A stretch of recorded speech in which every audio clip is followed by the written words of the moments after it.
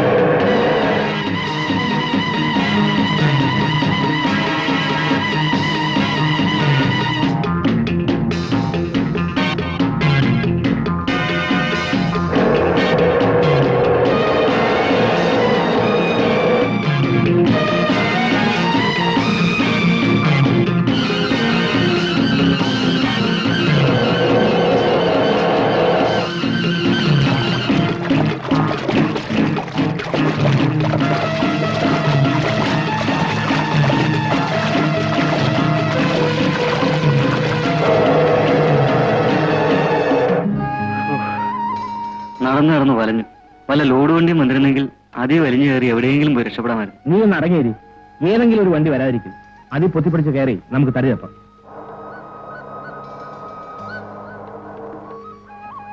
ഏതോ ഒരു വണ്ടിയുടെ ലൈറ്റ് കാണുന്നുണ്ട്. നോക്ക്.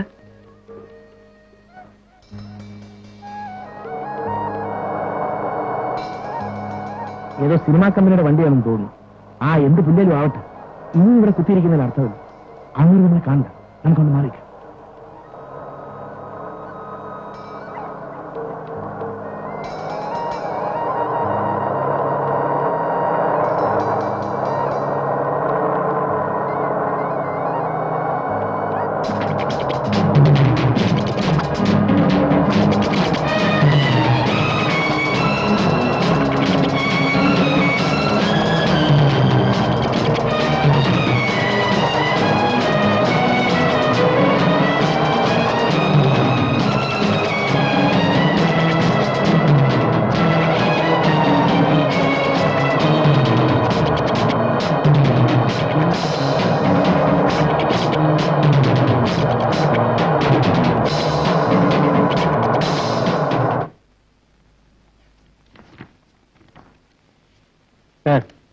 അവരെ വിട്ടുവെച്ചാണ് ഈ അവിടത്തിനുള്ള കാരണം. ശിക്ഷിക്കാൻ മാത്രമല്ല സാധിക്കുമെങ്കിൽ ഒരുത്തം നന്നാക്കാൻ ശ്രമിക്കുന്നത് കൂടി ഞാൻ പോലീസിന് കടമ എന്ന് വിശ്വാസമായിരുന്നു എനിക്ക്. നായുടെ വാലുമാരിയാണ് സാറേ ഇവന്മാരുടെ മനസ്സ്. എത്ര നിവർത്താൻ നോക്കിയാലും വളഞ്ഞേ കിടക്കും. കൃഷ്ണനാരെ ഓ എന്റെ കണക്കൂട്ടിൽ ഒരു തെറ്റ് പറ്റിയിട്ടുണ്ട് ജീവിക്കാൻ വേണ്ടി കളവ് നടത്തുമെങ്കിലും സംസ്കാരവും നിർദ്ദേശമുള്ള കൊടുത്തൻ രാജു. പക്ഷേ പണത്തിനും പെണ്ണിനും വേണ്ടി എന്തും ചെയ്യാൻ മേടിക്കാത്ത ഒരു തെണ്ടിയാണ് എന്റെ കൂട്ടുകാരെന്ന് ഓർമ്മിക്കാൻ ഞാൻ മറന്നുപോയി എല്ലാ സ്റ്റേഷനിലും വിവരം അറിയിച്ചില്ലേ നാളെ തന്നെ അവരെ ഫോട്ടോസ് എല്ലായിടത്തും എത്തിക്കാൻ ഏർപ്പെടുകയും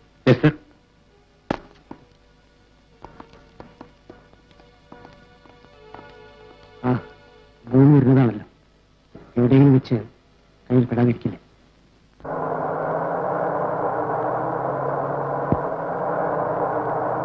ஏய் தமிழரசு ப்ரொடியூசர் சொல்லியிருக்காரு காலையில ஆறு மணிக்கு பத்தேர்ல போய் சேரணும்னு ஆனா தூக்கம் வந்து கண்ணு முழிக்க முடியல வண்டிய இங்க ஒரு இடத்துல நிப்பாட்டி கொஞ்ச நேரம் தூங்கிட்டு உள்ள போலாம் അണ്ണോ സമയത്തിന് എത്തിയില്ലെങ്കിൽ സഞ്ജയ് യൂണിറ്റിന്റെ പേരാ മോശമെന്ന് പറഞ്ഞേക്കാം போடா சோம்பேறி தூக்கம் வந்தா என்னடா செய்ய முடியும் தூங்கித்தான் ஆகணும் ശരി ശരി അണ്ണന്റെ ഇഷ്ടം പോലെ തന്നെ നടക്കട്ടെ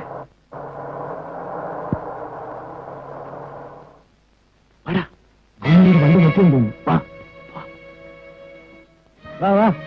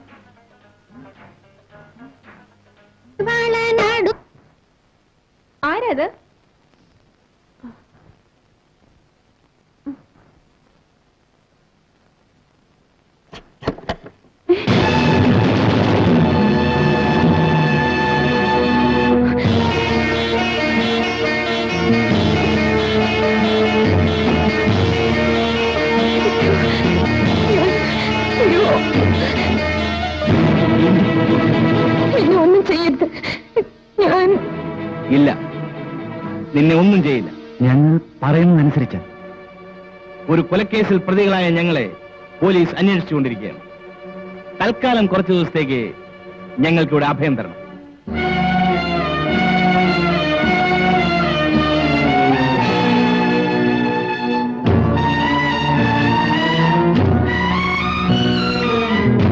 അകത്ത് കിടക്കുന്നവരാ അച്ഛനാണ്. മെല്ലെ സംസാരിക്കും. ഉറക്കത്തിൽ നിന്ന് എഴുന്നേറ്റ് വരും. ഇല്ല. അച്ഛൻ എഴുന്നേൽക്കാനോ ശബ്ദിക്കാനോ കഴിയില്ല. തളർവാദമാണ്.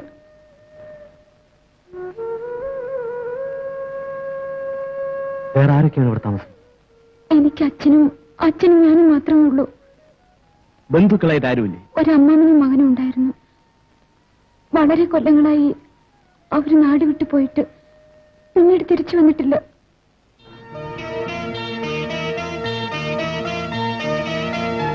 എന്നാൽ വളരെ സൗകര്യം. നാട് വിട്ടുപോയ നിന്റെ അമ്മാവന്റെ മകൻ ഇതാ തിരിച്ചു വന്നിരിക്കുന്നു. ഞാനായിട്ട്. ഇന്നു മുതൽ ഞങ്ങൾ ഇവിടെ താമസിക്കാൻ പോവുകയാണ്. ആരെങ്കിലും ചോദിച്ചാൽ അമ്മാവന്റെ മകനും കൂട്ടുകാരനുമാണെന്നേ പറയാവൂ. മനസ്സിലായോ? മനസ്സിലായി. എങ്കിൽ അച്ഛനോട് എന്ന് പറ. ഞങ്ങൾ വന്നിട്ടുണ്ടെന്ന്.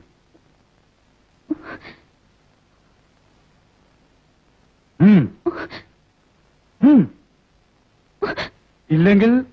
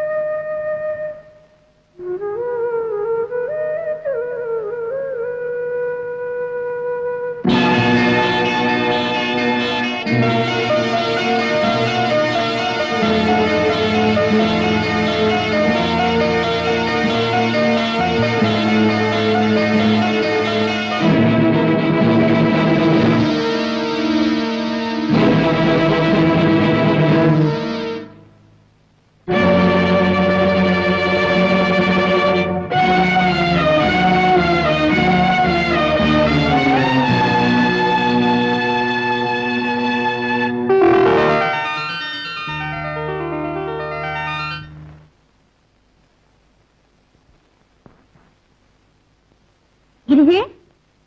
ഗിരിജേ? എന്താ ചേച്ചി? ആരാ മോളെ ഈ പുതിയ ആൾക്കാര്? നാട് വിട്ടുപോയ ഗോവിന്ദമ്മാവന്റെ മകനും കൂട്ടുകാരനുമാ ഇന്നലെ വന്നതേ ഉള്ളൂ. ആ നിന്റെ അമ്മാവിന്റെ മകൻ ഇപ്പൊ വന്നത് ഏതായാലും നന്നായി മോളെ. ഈ രോഗിയായ അച്ഛനെയും വെച്ച് നീ എത്ര കാലമാ ഇങ്ങനെ കഷ്ടപ്പെടുക? ഒരു സഹായത്തിന് നിനക്ക് ആരെങ്കിലും വേണ്ടേ? നോക്കി നിൽക്കുന്നത്? അവരെ വിളിച്ചുണർത്തി ചായ തിളപ്പിച്ചു കൊടുമോളെ ഞാൻ പോട്ടെ മോളെ. വല്ലാത്ത ക്ഷീണം. രാത്രി മുഴുവനും കല്യാണ വീട്ടിലായിരുന്നു. ഞാൻ വരട്ടെ.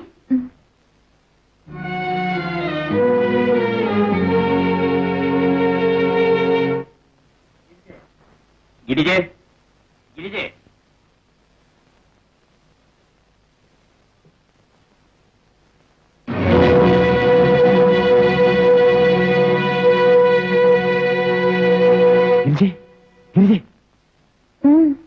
ആരോ വന്നിട്ടുണ്ട്? ഞങ്ങളോടുള്ള കാര്യം അയാളോട് പറയരുത്. ചെല്ല്. അച്ഛനെ ഒറ്റയ്ക്കാക്കി. പോക്ക് സുഹറാന്റെ നിക്കാഹിന് എങ്ങനെയാ വരാൻ പറ്റുക അതുകൊണ്ടാ നമ്മൾ തന്നെ ഈ കല്യാണ കോളുമായിട്ട് വന്നേക്കണേ. മോൾ ഇതകത്ത് കൊണ്ടുപോയി വെക്കും. ബുദ്ധിമുട്ടുണ്ടായിരുന്നു. അത് നല്ല കോളായി. അനക്ക് വേണ്ടി നമ്മളിത് ചുമന്നാൽ ഞമ്മക്കൊരു ബുദ്ധിമുട്ടും ആവില്ല ഞാൻ പോട്ടെ മോളെ. എന്തിനും ഏതിനും ഞമ്മളെ കണ്ണെത്തിയില്ലെങ്കിൽ ഒന്നും ഒരു മട്ടം പോലെ ആവില്ല. നമ്മൾ വന്നു പോയിന്ന് മുളച്ചോട് പറഞ്ഞേക്ക്. ശരി.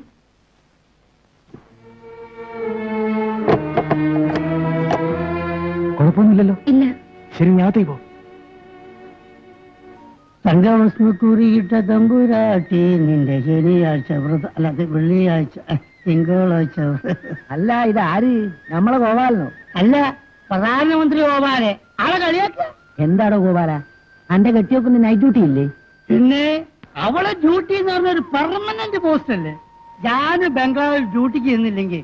പിന്നെ ബംഗ്ലാവിന്റെ ബംഗ്ലാവാണ്? ഞാനല്ലേ ബംഗ്ലാവിന്റെ ഒരു ഡെമോക്രേഷൻ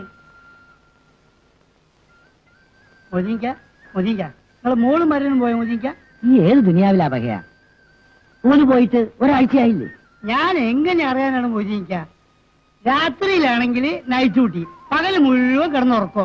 ഒരു ഇത്തിരി ഒഴിവ് കിട്ടിയിട്ട് വേണ്ടേ? പിന്നെ വിവരങ്ങളൊക്കെ ഞാൻ ഈ പറഞ്ഞിട്ടുണ്ടാവും.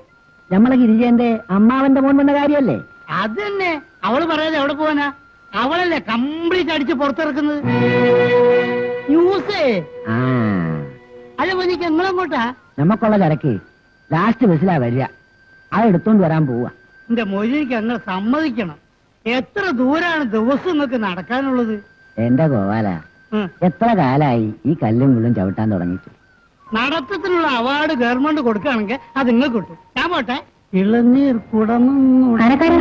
ഞാൻ പാപ്പാനെ.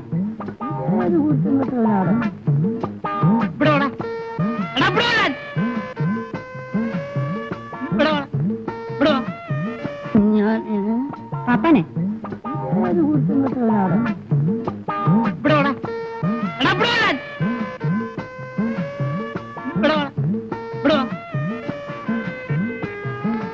എന്താടാ വിളിച്ച ആനക്കാരാണ് ഞാൻ മോദിക്കിന്റെ മോനല്ലേ? അതെ. എടാ പാപ്പന്റെ ഒരു ഗുണവും നിനക്കില്ലല്ലോ. ഞാൻ ഇവിടെ എവിടെ കണ്ടില്ലല്ലോ എന്താണ് നിന്റെ പേര്? നസീർ. നസീറോ? മമ്മൂട്ടിയാണ്. എന്താണ് ആ മൊയന്തൊക്കെ ഞാൻ അറിയില്ല എന്റെ പേരോ അടുത്ത ടെന്റ് പോയി നോക്ക്. അവിടെ ഉണ്ട് ആദിഭാവി നാല്പത്തി ഒന്ന് വിളംബരം കളിക്കാം അതിൽ നാൽപ്പത്തി ഒന്നാമത്തെ കളനാണ് നസീർ. സിനിമാക്കാർക്ക് മാത്രമേ ആ പേരുള്ളൂ. മൂപ്പരെന്താ വെളുത്തലായിട്ടാ? എന്റെ ബാപ്പായുടെ പേരാ നസീർ നിന്റെ ബാപ്പിട്ട പേരാണെങ്കിൽ അങ്ങനെ ആയിക്കോട്ടെ വിരോധമില്ല. പക്ഷെ പട്ടിയൊക്കെ പേരിടുന്നില്ലേ? ടിപ്പു സുൽത്താൻ കൈസർ എന്നൊക്കെ? ഇങ്ങനെ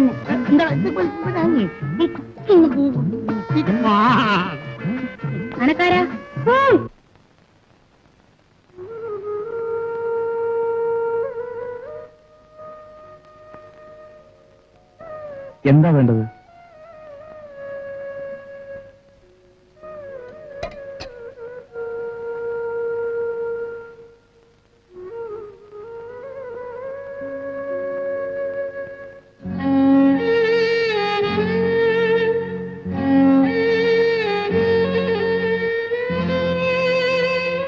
അച്ഛൻ വെള്ളം ചോദിച്ചു.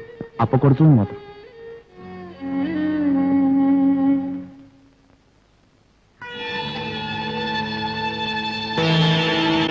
ഇത്രയും വിവരമാണ് മുതലാളി കിട്ടിയത്. അങ്ങനെ വരാൻ ന്യായമില്ല. ഇങ്ങനെ ഒരു അമ്മാവിനെയും മകനെയും കുറിച്ച് കേട്ടറിവില്ലല്ലോ ഞാൻ അന്വേഷിച്ച മുതലാളി. പത്ത് പതിനഞ്ച് കൊല്ലം മുമ്പേ നാട് വിട്ടു പോയതാണെന്നാ എല്ലാരും പറയുന്നത്. എളുപ്പം കാര്യം സാധിക്കാമെന്ന് കരുതിയപ്പോ തടസ്സം കൂടുകയാണ്. പോകുന്ന വഴിക്ക് മരം വീണാലും ആനയെ കൊണ്ട് തട്ടി നീക്കാറില്ലേ മുതലാളി? ആ തടസ്സം നീക്കാൻ ഞങ്ങൾ മതി. ഏതായാലും ഞാൻ പറഞ്ഞിട്ട് നിങ്ങൾ വല്ലതും ചെയ്താൽ മതി. ചാക്കോ ഓഫീസ് ചെന്നിട്ട് അക്കൗണ്ടിനോട് കൊണ്ട് വരാൻ പറയും.